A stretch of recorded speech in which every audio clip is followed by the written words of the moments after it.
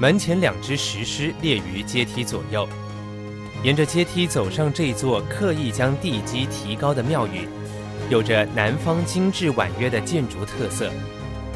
龟山显安岩主祀应贤祖师这位末代高僧，穿过庙门进入宫庙，这才发现室内别有洞天。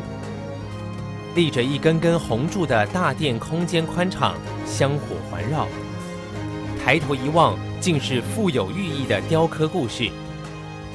常常看到很多佛教、道教的庙宇供奉祖师，在传统民间信仰当中的祖师，指的是在宗教领域有特殊贡献的高僧，因为慈悲为怀的济民事迹而被民众感念至今。